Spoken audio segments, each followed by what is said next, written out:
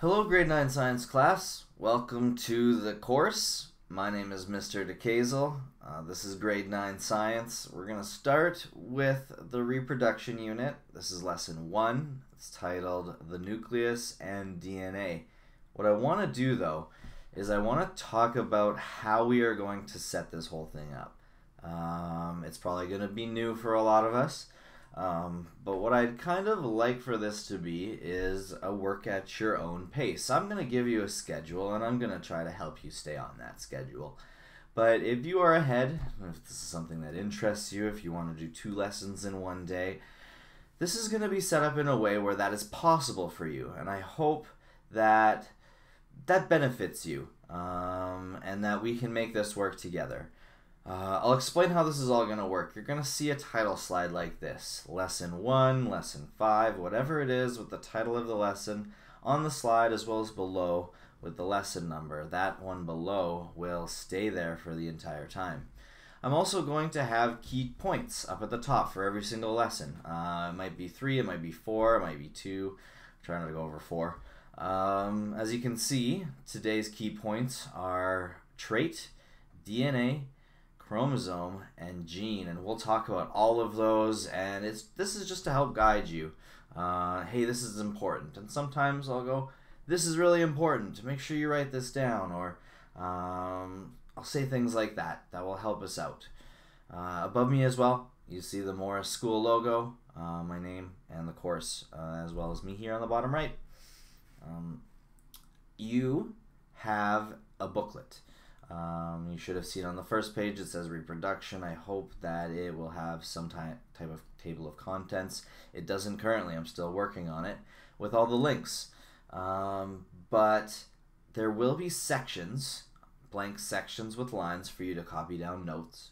There will be diagrams included that will hopefully help us pace where we are in the booklet. And then there will be uh, assignments essentially. Uh, I title them in the mm, PowerPoint Your Job. This is your job for the day. Um, there are specific assignments, and what I would like is when you're done the uh, whole unit to hand in the booklet uh, with all your assignments completed. Now, I won't mark every assignment, but to be able to see how you've done and that you've tried or completed everything uh, in the booklet is really important. Uh, so each lesson will have one, there might be one or two that have two things to do. Uh, they are on, often not very onerous. Uh, they often require you to look back on some notes, maybe read something, uh, write an opinion, uh, and things like that. So without further ado, we're three minutes in. let's start. You should be on the first page. There should be lesson one. There should be notes. Let's get into it. So, uh, what physical features can vary from person to person? Uh, do you have a hitchhiker's thumb? That's a type of thumb that bends all the way back. Mine is completely straight. If you can bend them back, you have a hitchhiker's thumb. Uh, can your tongue roll or not? That is something that can vary from person to person. Are your earlobes attached or are they uh, not attached? There is some pieces of skin that uh, sometimes attach people's earlobes, or uh, you can see there's sometimes an indent for people whose aren't. That is a physical feature. Um, so these can vary from person to person.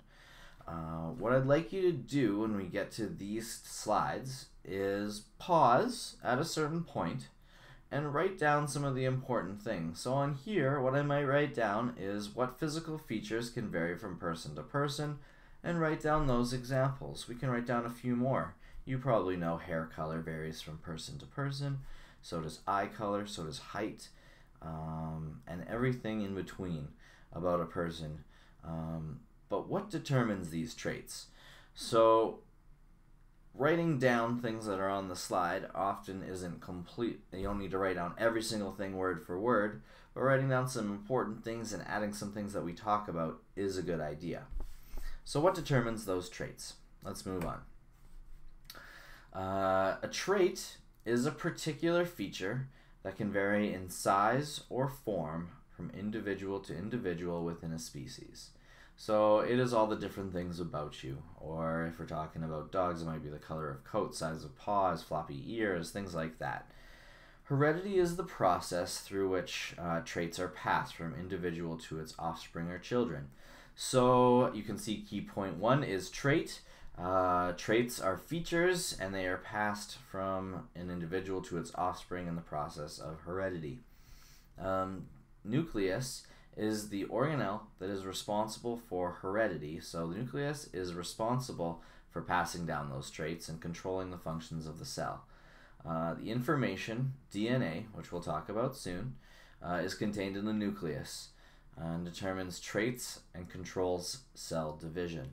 So DNA is found in the nucleus. The DNA is in the nucleus and controls heredity and all traits.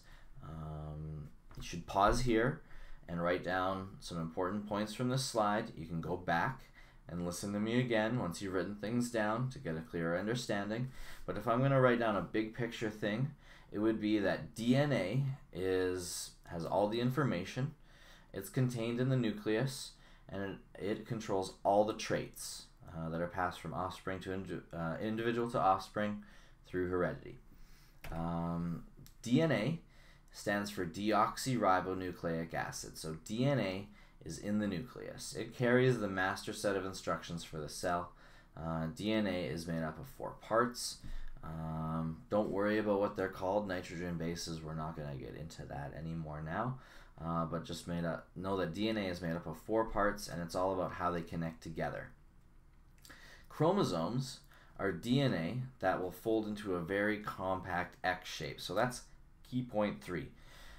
Um, we can see this under a microscope, and that's how we always draw chromosomes when we get to drawing them. Uh, so chromosomes are made up of numerous genes, uh, contain the information for thousands of traits. So chromosomes are made up of DNA. They are contained within the nucleus, and the nucleus controls all your traits. Therefore, DNA controls all your traits. Again, I will um, kind of reiterate. Uh, DNA stands for deoxyribonucleic acid, a big word. It carries all the instructions for the functions of the cell. Uh, and that DNA folds up into chromosomes. Those chromosomes and DNA, same thing, is in the nucleus of the cell. And the nucleus of the cell controls all the traits hair color, eye color, height, all the things like that. So, um, let's get to a picture. You can see that we have here DNA. Uh, it is in a coil. Uh, it might have seen it in sci-fi movies or others where it looks similar to this. It is folding up, folding up, and becoming more compact until it becomes an X-shaped uh, chromosome.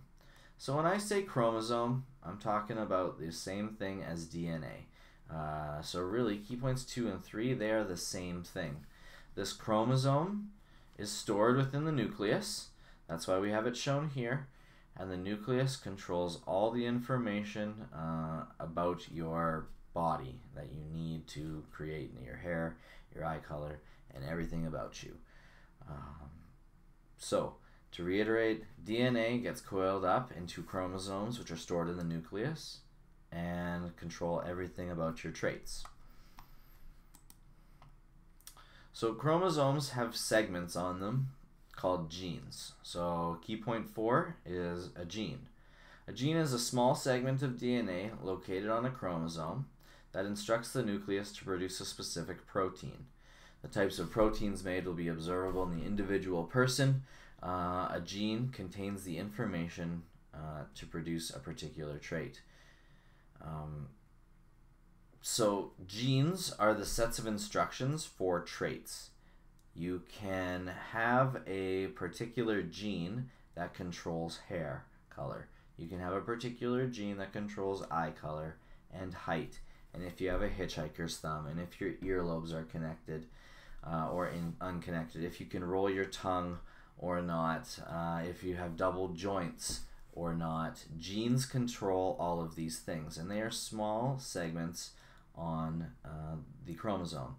On the second page, I believe you have a picture of a pink chromosome, or of an X, and it has lines on it that are labeled with genes. So each tiny section controls different things, and you can imagine that there is tons and tons of stuff to control within your body. So it is very important that those genes stay intact uh, and that they are read properly. Um, the types of proteins need to be observable, so that is what we mean when we say like eye color and hair color. Uh, they produce the information needed to uh, produce 90,000 to 100,000 different proteins used in cells of your body. They are very, very important segments uh, on chromosomes. Again, chromosomes are made up of DNA. DNA controls has all the information that controls all of your traits. Um, that is how the key points relate to one another. Uh, so, uh, you also have this picture, I believe, on the second page.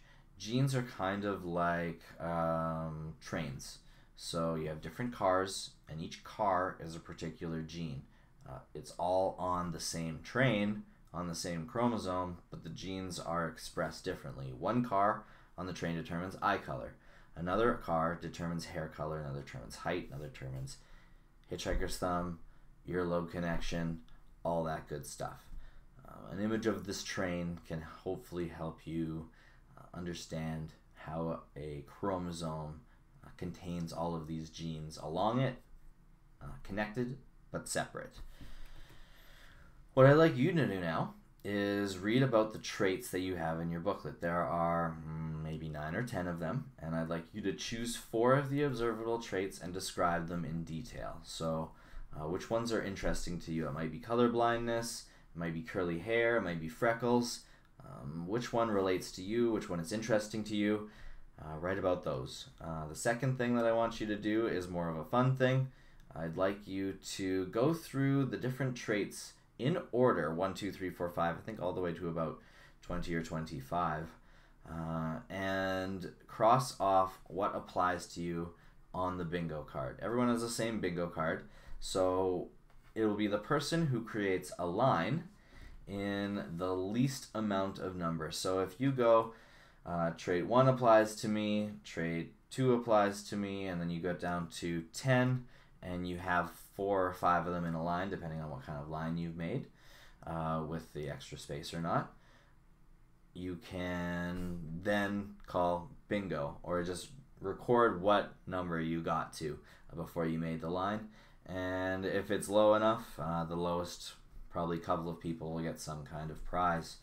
Um, I don't know what that prize will be or if I'm be allowed to give anything to you, but uh, we'll do our best. So I hope this was helpful. Uh, hopefully, the future lessons will be just a little bit shorter because I won't have to do the whole opening spiel, but it is important to try to remember how we want to use this. Um, you should be able to watch the videos and go through the work in your booklet. Uh, if you have any questions, you can email me or see me at school. Um, but I hope this was helpful uh, in conveying the information in an efficient way um, when we don't know exactly what it's all going to look like from now on. So I appreciate all the uh, hard work that you're going to do throughout the semester. And thanks very much for watching. We'll be back with lesson two soon. Thank you.